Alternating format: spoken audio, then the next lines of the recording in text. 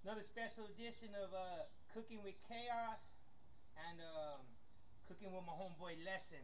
Yo, unfortunately, um, I got some bad news today. My homie Lesson from AEK, from Avenue Euclid, Eastside San Diego.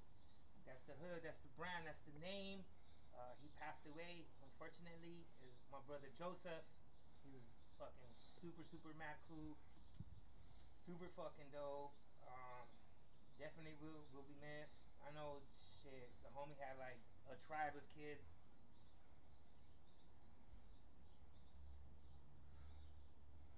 I know he's cool ass dude. I've known him since shit. I was like, fuck, maybe about twelve shit somewhere in there, man. But yo, one for the homie too. That's how we do it, man. So Lulu's my brother.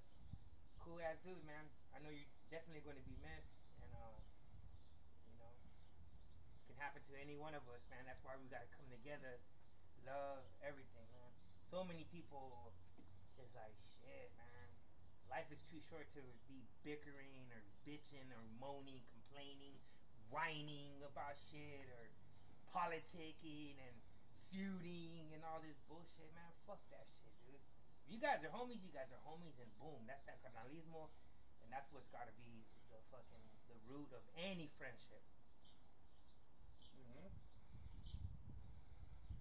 That's for you, Big G. All right, check it out, cameraman. Yo, pop up here, homie. Yo. So like I said, yo, it's cooking with uh chaos and lesson today, man. Yo, you know we got the little chicken jumping. You feel me? You know them joints is nice. Uh, got that staker.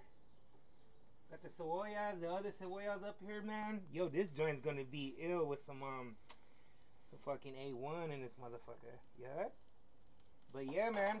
Yo, let me get the camera real quick. Yo, shout out to um my brother-in-law Naigual right here, man. Yo, this is Judah's uncle, man. He's cool and shit.